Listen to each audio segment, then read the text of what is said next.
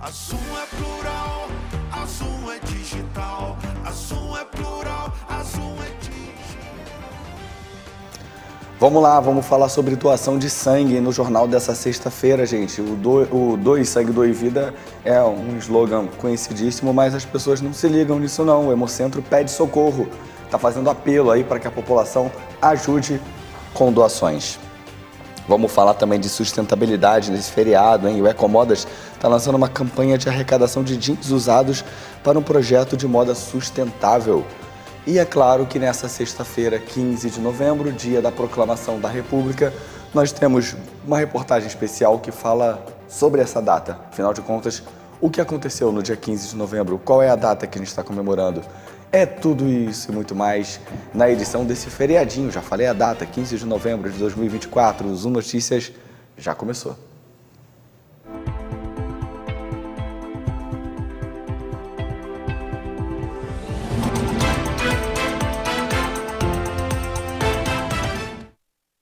Então, boa noite para todo mundo que nos acompanha e pelos próximos 30 minutinhos com muita informação sobre Nova Friburgo e a gente começa falando sobre doação de sangue, pessoal. Aliás, a gente já vem falando sobre isso há algum tempo, mas o Hemocentro faz um alerta para o morador de Nova Friburgo. O que, que acontece, gente? É, os estoques estão muito baixos e eu já falei sobre isso aqui recentemente. Nós estamos entrando numa época do ano muito perigosa, porque ó, a quantidade de doações cai muito e a necessidade de procedimentos usando sangue, ela acaba aumentando demais nesse fim de ano.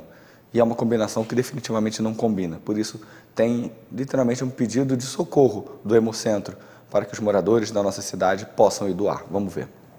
O Hemocentro de Nova Friburgo, localizado anexo ao Hospital Raul Sertã, Atende também diariamente pacientes portadores de diferentes doenças hemofílicas, utilizando equipamentos de ponta. Mas todos os meses aumenta a necessidade de certos tipos de sangue. O sangue O negativo é um sangue que é o, o, um sangue que a gente utiliza em todos os pacientes mas todos os sangues são importantes. Em épocas festivas como Carnaval e Natal, é importante que o banco de sangue esteja muito bem preenchido, devido ao aumento no número de acidentes, onde a qualquer momento pode existir a necessidade de uma transfusão. Nós estamos aqui em funcionamento de segunda a sexta, exceto aos feriados, de 8 a meio-dia. E é só chegar aqui, fazer um cadastro tem que estar é, com uma, um documento de identidade com foto. É, ele vai passar, o, o, candidato à doação tem que pesar mais que 50 quilos, tem que estar em boas condições de saúde, é, vai passar por uma entrevista com a nossa enfermeira onde uh, várias perguntas serão feitas sobre uso de medicamentos, condições de saúde, vacinas, tatuagens, piercing, etc. Então, este vai ser checado se ele tá, está com níveis de hemoglobina suficientes para doação, pressão, temperatura. Então, ele vai ser uh, elegível ou não a doação. Reforçando, o paciente não precisa estar em jejum, aliás, ele não deve estar. Ele deve ter tomado um bom café da manhã, desde que não contém alimentos gordurosos. E o mais importante, uma boa noite de sono, uma boa hidratação antes da doação. Sem os doadores, nós não conseguimos manter o nosso estoque. E é importante ressaltar que a doação é voluntária e o ato de doar o sangue pode salvar até quatro vidas. É um ato de amor ao próximo. Ótimo, ótimas palavras. E eu repito o que ela disse, que é realmente um ato de amor ao próximo em que você pode ajudar diversas vidas com apenas uma doação. Então fica aqui o convite para quem deseja doar sangue e querer ajudar o Hemocentro não só da nossa cidade, mas de toda a região serrana todas as outras cidades que o nosso hemonúcleo ajuda. Muito obrigada, doutora, e eu volto aos estúdios do Zoom Notícias. Obrigado, Natália Rebelo. Vamos falar agora da Ecomoda, gente, que é uma empresa reconhecida aqui no Friburgo né, por, por, por soluções sustentáveis e também socioambientais. Lançou uma campanha inédita de arrecadação de jeans usados. É muito bacana porque fala de um, um gargalo da indústria têxtil que é pesado para o meio ambiente e que, através de ações como essas da Ecomodas, a gente, sem sombra de dúvidas, pode ajudar muito o nosso meio ambiente. Vamos acompanhar.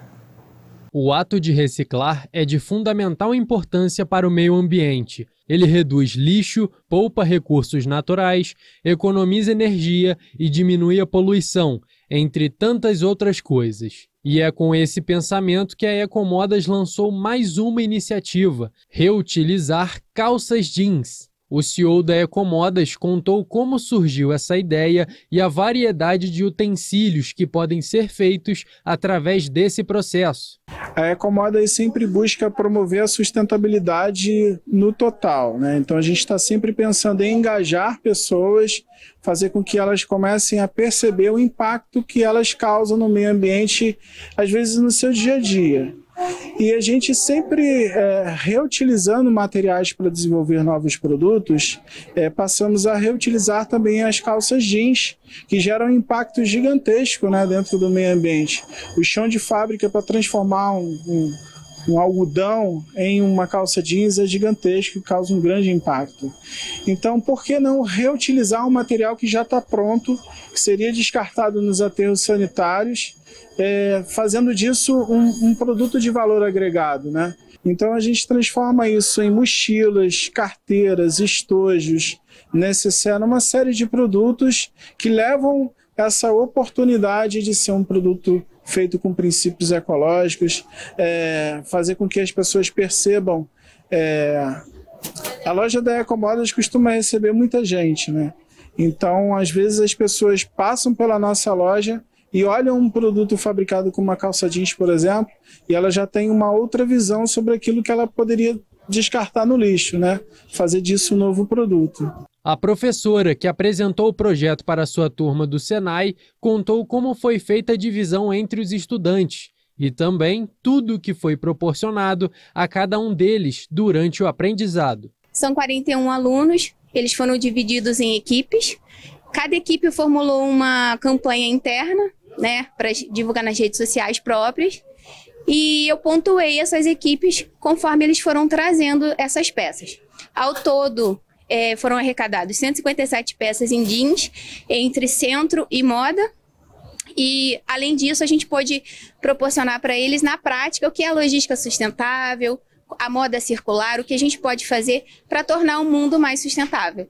Sabendo que a turma foi dividida, uma das alunas contou a sua opinião sobre o projeto. Foi muito legal a gente aprender como que funciona né, esse mundo sustentável e trouxe também uma visão de como é né, a sustentabilidade, a logística sustentável e também conseguiu conscientizar não só a mim, mas a todos nós de que o quão importante é a responsabilidade, né?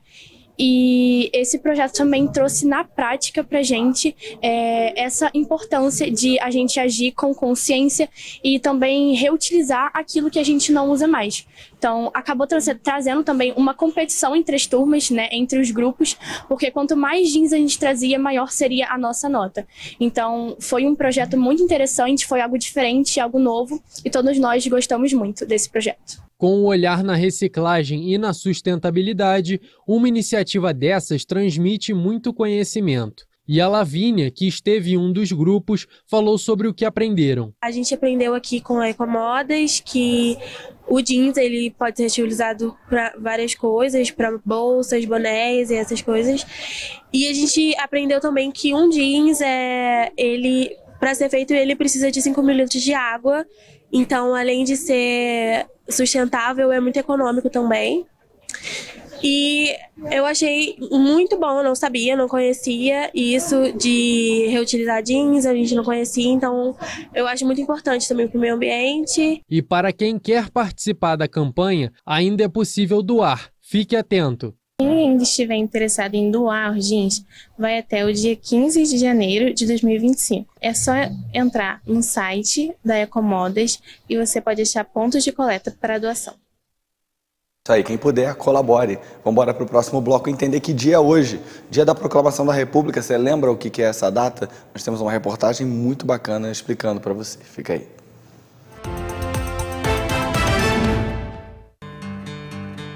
Todos os dias a vida nos apresenta novos desafios. Eles podem ser previsíveis ou inesperados. mas muitas vezes são sonhados e aguardados por nós mesmos. E quando o novo capítulo da nossa vida bate à porta, nada melhor do que contar com quem adora te ver sorrir ao dar um novo passo. Stan tem mais de cinco décadas de história no mundo das fechaduras, cadeados e outras soluções para portas, portões e móveis. Mas entregamos mais do que tecnologia e versatilidade. Existimos para dar a você segurança e liberdade para traçar novos caminhos sem amarras. Porque para nós, nada é mais importante do que trabalhar a cada dia para que você viva a vida do seu jeito, como ela tem que ser Stan, gire a próxima chave.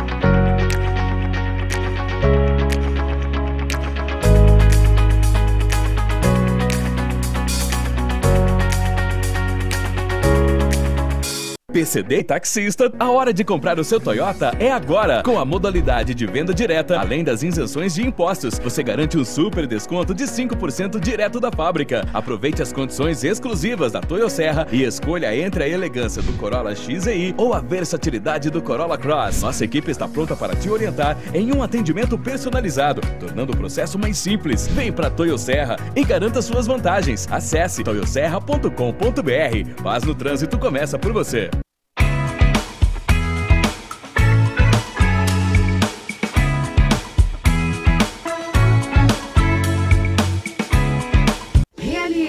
Projeto de vida no Residencial Gardênia. Pertinho das mais variadas opções de comércio, serviços e entretenimento, oferecendo muito mais praticidade para o seu dia a dia. Apartamentos de dois ou três quartos com excelente acabamento. Prédio com elevador, garagem coberta e salão de festas. Tudo planejado para proporcionar a qualidade de vida que sua família merece. Venha descobrir todas as vantagens de morar no Vila das Flores. Ligue 2522 1329 e agende sua visita. Construção e venda Gemini Engenharia.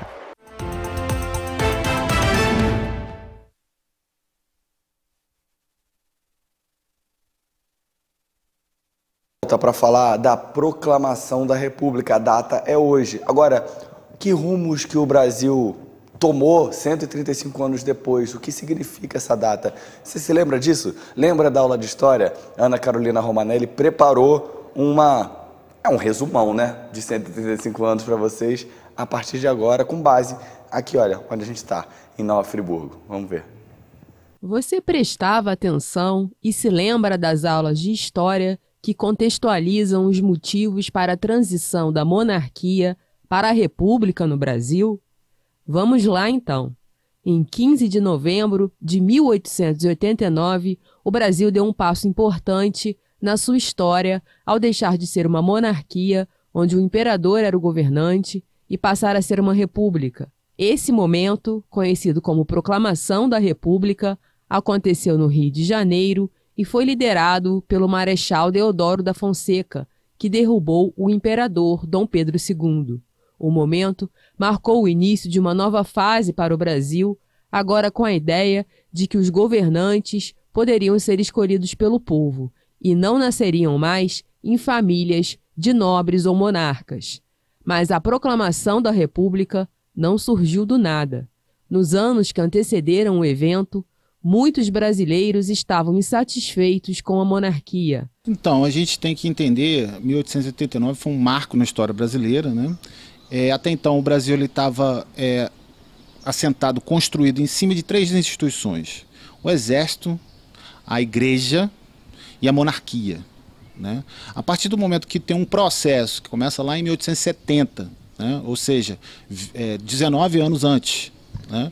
em que essas estruturas é, institucionais vão é, se desfazendo até chegar e culminar em 1889. Na verdade, isso começa desde o início do século XIX, mas para a gente poder fazer um, um compacto aqui, eu estou marcando a década de 1870 como a década da geração de intelectuais que vai transformar o pensamento da governança do Brasil. né, até chegar no golpe, que a gente, a gente chama de golpe, porque em 1889 as forças republicanas, junto com as forças monárquicas, na figura do é, monarca é, Marechal Deodoro, que chefiava o exército, né? e até então o chefe de gabinete também é, da época, se juntam e proclamam a república, sendo que a maior parte da população não participava do processo político. Né? O José Murilo de Carvalho chega a dizer que a população assiste a, a tudo atônita e bestializada bestializada no, no, em dois sentidos. No sentido de ficar besta e atônita, assustada, não saber o que está acontecendo, e besta no sentido de monstruosidade, porque é, a população, as camadas mais populares, os trabalhadores, os operários, eles eram vistos pelas autoridades da época como bestas, como é, monstros, né? que só servia para trabalhar. Olha, as consequências imediatas aqui no, da história do Brasil não, não, não foi nenhuma, pelo contrário, né? É, a gente, a gente, o que, que a gente fez nessas consequências da República, né? Manteve as estruturas escravocratas, né? A, a, apesar da gente ter é, dado o fim da escravatura oficialmente pela princesa Isabel, né? É, em 1888, um ano antes de proclamar a República, é, os, os, as estruturas latifundiárias do Brasil, né? a concentração de renda muito alta, né? a má distribuição, a desigualdade, a, a, a permanência dos latifundiários com suas terras, né? ainda permaneceu. Então, assim, é, o que, que, mudou? Mudou que a classe de, de elite é, ainda permaneceu no, no poder. Então, assim, a gente não teve por muito tempo, pelo menos por três governos seguintes, né? É, o governo do Marechal Deodoro, o governo de Rio Barbosa, os governos subsequentes foram, foram todos militares. Não teve alternância de poder, por exemplo, no início. Né? A gente só pode é, falar que a gente teve alguma coisa de democracia na década de 20, alguma coisa né, de republicano, né, que a, a democracia e a república elas andam juntas, né? É, depois, a gente pode dizer na história do Brasil, de 1945 a 64, a gente teve uma curta experiência democrática, com, no começo com Juscelino Kubitschek, né? É, e depois, ou era golpe, ou era ditadura militar, né? Até chegar em 1985, que é, a gente conquista os, os, as das diretas já, por causa dos, do movimento das diretas já, a gente conquista o voto universal, né? Porque até então as, as mulheres, por exemplo, não podiam votar aqui no Brasil até a primeira Constituição, até a última Constituição que a gente teve de 1988. E como é que isso afetou Nova Friburgo? A cidade na Serra do Rio de Janeiro estava longe do centro do poder, mas também sentiu os efeitos da República. Naquela época, o município já estava crescendo e recebendo pessoas de vários países europeus. Esses imigrantes já tinham contato com ideias de democracia e até com a ideia de república, o que ajudou muito a população local a aceitar e apoiar também as mudanças. A historiadora Janaína Botelho contextualiza o cenário político de Nova Friburgo na época. A administração municipal da cidade se iniciou com a fundação da vila em 1820. De início, a cidade era apenas administrada pela Câmara Municipal, que possuía poderes administrativos, legislativos e até mesmo judiciais. É, em Nova Friburgo a gente teve, assim como é, de resto, assim na província fluminense, dois tipos de republicanos: os republicanos históricos e os chamados republicanos 13 de maio. Esses 13 de maio eram aqueles que aderiram ao, ao, Partido Republicano porque foi extinta a escravidão no Brasil, né? Então foram aqueles republicanos de última hora, por isso que eram chamados de 13 de maio. Mas a gente teve uma mudança significativa no quadro político. É, basicamente, né, Friburgo foi criada em, em 3 de janeiro de 1820 e era administrado pela Câmara Municipal, isso que eu gostaria de destacar. Até 1916 era a Câmara Municipal que administrava o município, não havia figura do prefeito. O presidente da Câmara é que fazia as vezes de prefeito, né? Ele era eleito é, como presidente, então ele tinha basicamente uma função executiva. Com a proclamação da República, esse quadro não mudou. A única coisa que mudou foi a terminologia. Ao invés de Câmara Municipal, eles chamavam de Intendência Municipal, né? Mas de qualquer forma, a estrutura era a mesma. Agora, uma coisa que eu gostaria de destacar nessa mudança da República é que Friburgo perdeu muito território com a proclamação da República. É, logo assim, no, em 1890, no ano seguinte, perdeu a freguesia de Nossa Senhora da Conceição do Paquequer, que hoje é o município de Sumidouro. Olha só que área que Friburgo perdeu. E era uma área, e é, essa freguesia, hoje Sumidouro, é, tinha muita plantação de café e produção de açúcar também. Bom, é, o que, que acontece? Em 1892, perde outra freguesia, que é São José do Ribeirão, que consegue a sua autonomia administrativa, perde, volta para Friburgo, mas depois é anexada a Bom Jardim. Então, de qualquer forma, Friburgo perdeu uma freguesia muito importante, inclusive Amparo. Amparo foi junto. Depois a gente conseguiu resgatar aquela, o distrito de Amparo, mas Amparo foi junto e perdeu uma freguesia muito importante, produtora de café. Conseguiu depois é, trazer Amparo de volta, por quê? Porque o coronel Galeano das Neves tinha uma fazenda em Amparo, que é a Fazenda Cachoeira do Amparo. Então a gente conseguiu trazer Amparo de volta. E a gente tinha também outra freguesia, que era é, Conceição do Sebastiano, que é lá para o lado de Teresópolis. Friburgo, em 1901, perde aquela região toda, de, perde uma boa parte da freguesia para Teresópolis. Então nós ficamos reduzidos a um terço do nosso território. Então a gente vê é, na, nesses prefeitos de Friburgo, a partir de 1916, né, porque até então era Câmara Municipal ou Intendência, que, é, que administrava, a gente é, basicamente é, você vê prefeitos 15 dias, 6 meses, 3 meses, fora os interinos, um saía, pedia licença e assumia outro. Enfim, uma bagunça total. E veio a Revolução de 30, também um quadro de instabilidade nos primeiros anos, até entrar o Dante Laginestra e depois dele a gente teve César Guinle, a gente teve Eugênio Miller. Então, somente a partir de 1936 a gente vai ter com Dante Laginestra uma estabilidade e vai seguir a ele depois, aí sim, prefeitos com mandatos de quatro anos, né? Que vai ser o César Guinle.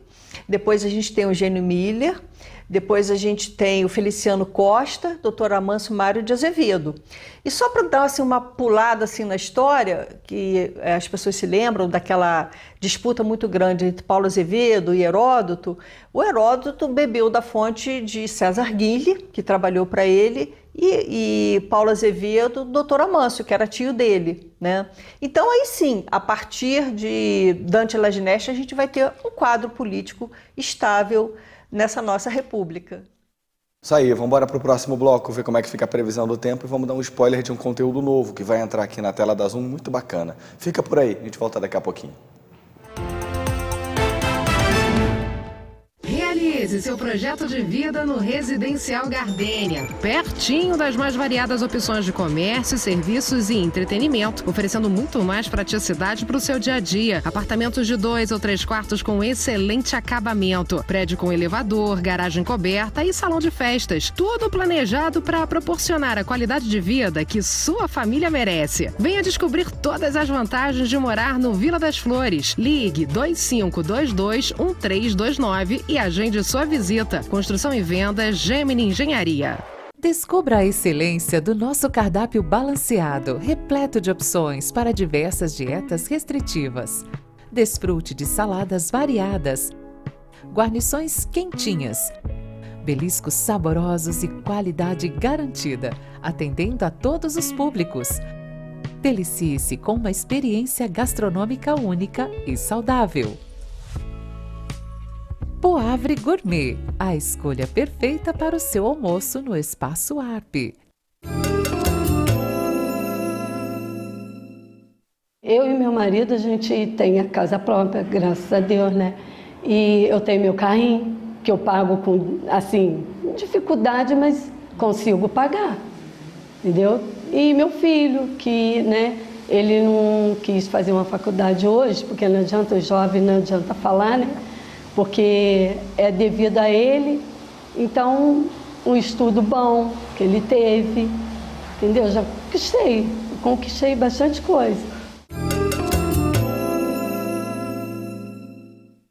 PCD Taxista, a hora de comprar o seu Toyota é agora. Com a modalidade de venda direta, além das isenções de impostos, você garante um super desconto de 5% direto da fábrica. Aproveite as condições exclusivas da Toyo Serra e escolha entre a elegância do Corolla XEI ou a versatilidade do Corolla Cross. Nossa equipe está pronta para te orientar em um atendimento personalizado, tornando o processo mais simples. Vem para Toyo Serra e garanta suas vantagens. Acesse toyoserra.com.br. Paz no trânsito começa por você.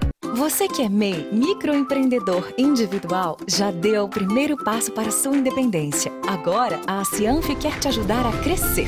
Aqui você tem o nosso apoio desde a abertura e em todas as etapas. São muitos serviços disponíveis para você: emissão de boleto DAS, emissão de nota fiscal, desconto em plano de saúde, consultoria jurídica e contábil e muitos outros. Procure a Cianf e saiba mais. A Cianf, a casa do MEI. Todos os dias a vida nos apresenta novos desafios. Eles podem ser previsíveis ou inesperados, mas muitas vezes são sonhados e aguardados por nós mesmos. E quando o novo capítulo da nossa vida bate à porta, nada melhor do que contar com quem adora te ver sorrir ao dar um novo passo. Stan tem mais de cinco décadas de história no mundo das fechaduras, cadeados e outras soluções para portas, portões e móveis. Mas entregamos mais do que tecnologia e versatilidade.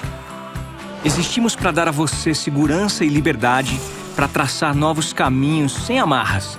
Porque para nós, nada é mais importante do que trabalhar a cada dia para que você viva a vida do seu jeito, como ela tem que ser Stan, gire a próxima chave. Vamos combinar um negócio, as férias escolares já estão literalmente batendo a porta e aí os pais ficam naquela, né? O que, que meus filhos vão fazer? Colônia de férias do SESI é uma alternativa muito bacana porque além de muito entretenimento, muita diversão, ainda tem segurança, socialização e aprendizado, hein? Vamos ver.